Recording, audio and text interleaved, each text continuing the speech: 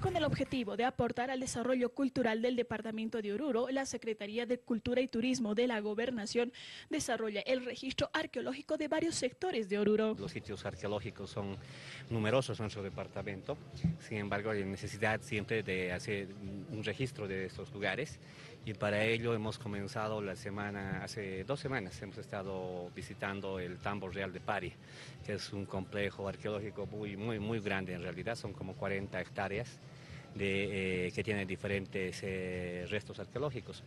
¿no? Entonces eso está en evaluación también, luego vamos a ir a otros municipios, estamos trabajando en coordinación con los municipios.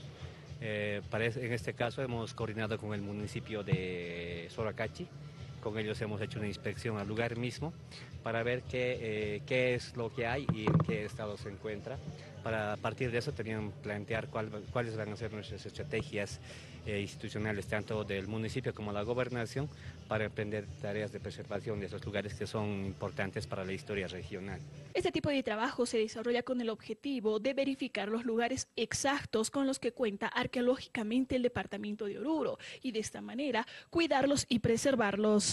Ese es uno de los, eh, de los trabajos que hemos eh, comprometido para este año, trabajar con todo el tema del patrimonio arqueológico y también el patrimonio arquitectónico. Asimismo, frente a este tipo de registros, se intensificará la actividad turística en el departamento, ya que se ofertará la visita hacia estos sectores a la población.